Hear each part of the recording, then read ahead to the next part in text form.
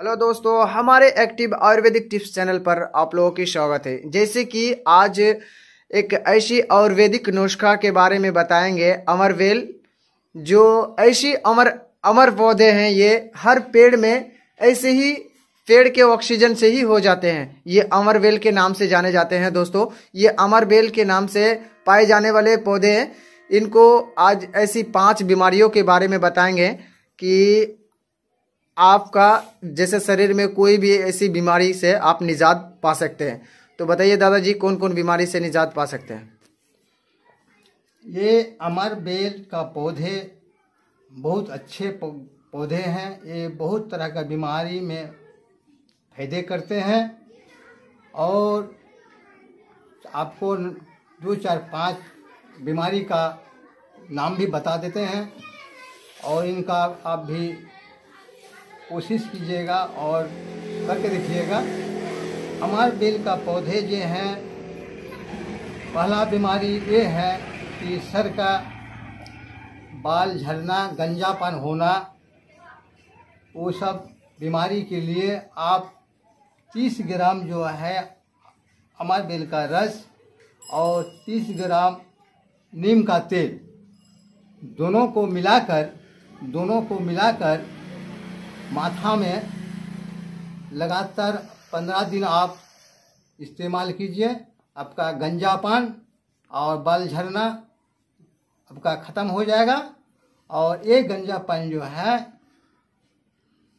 इन्हीं का रस और गंज इन्हीं का रस 20 ग्राम और 20 ग्राम नीम तेल। जैसे कि दादाजी आप बता रहे हैं कि अमर बेल का रस 30 ग्राम। हाँ।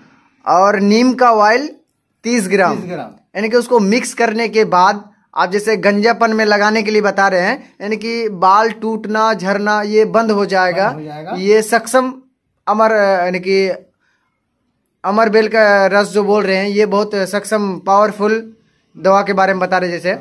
तो ये ये।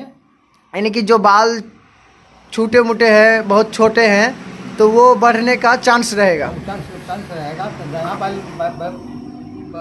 आ जाएगा उसमें। जी। अच्छा आगे बताइए। और दूसरा बीमारी और एक बता रहे हैं जैसे गठियाबाद जैसे ये ये जो है अमार बेल का पौधे हैं इस दूसरा बीमारी का दूसरा बीमारी का काम में आता है। जैसे मान लीजिए आपको गठियावाद गठियावाद का काम में आता है। इनका जो है रस, इनका जो रस जो है, आप इसका इसका जो गे- अमर बेल का जो पौधे जो है, उसमें ये कर, चटनी बना करके चटनी बना करके उस गठिया में गेठिया बाद गेठिया बाद में जो है, उस जगह लगा दीजिए और पट्टी बाँध दीजिए।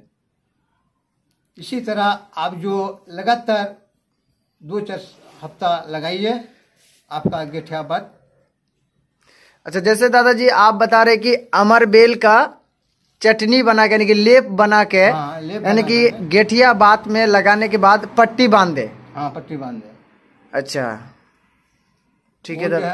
लगातार आप मान लीजिए एक दो सप्ताह लगाइए वो जो धीरे धीरे धीरे खत्म हो जाएगा। जी।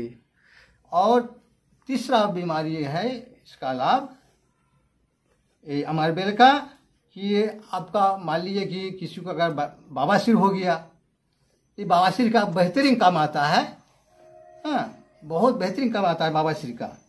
बवासीर अगर इसको पकड़ लिया, इसको हो गया, ये जो है इनका रस,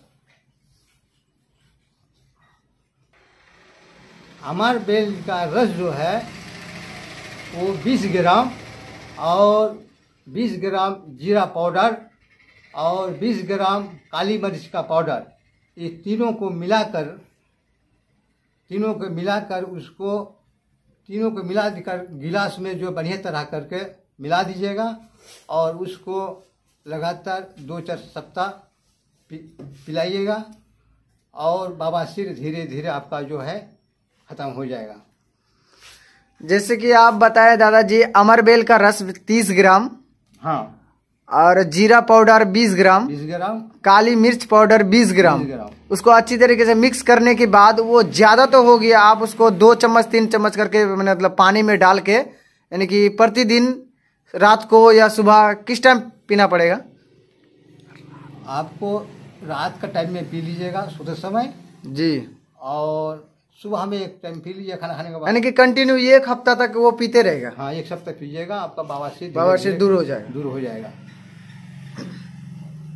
और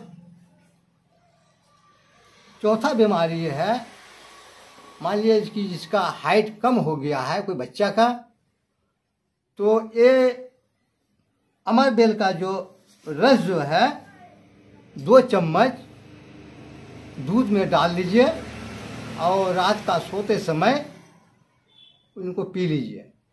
लगातार आप एक महीना अमर बेल का रस और दूध, एक गिलास। लगातार एक महीना पीजिए, आपका लड़का का रौनक भी खुल जाएगा और आपको हाइट भी समझ में आएगा कि कुछ हाइट आगे बढ़ने लगा। तो यही सब जो इसका बहुत तरह का फ़ायदा है, ये सिंपल आपको दो चार को बताए हैं। और आगे भी बताएँगे। जैसे कि आप बताए अमरबेल का रस 20 ग्राम। हाँ।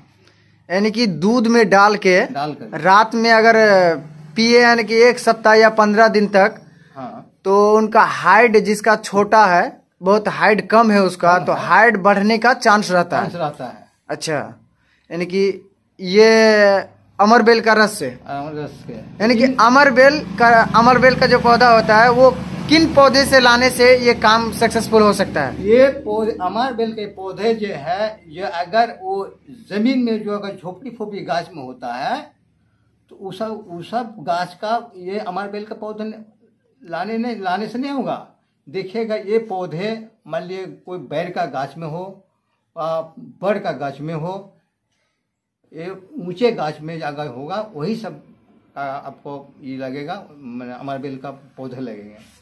ये ज़मीन में कम होता है और बैर का पेड़ में, बड़ का पेड़ में इस सब में अधिक होता है। इसका जो है, जड़ नीचे में नहीं होता है, उसी का भोजन लेता है और उसी से वो जो है, आगे बढ़ता है। ये दूसरे का भोजन खाने वाला है। तो ये पौधे बहुत तरह का लाभदायक का है, बहुत बीमारी का काम में आता है। अभी आपको सिंपल दो चार को बताए हैं। आगे अगर मौका मिलेगा तो और दो चार को बताएँगे।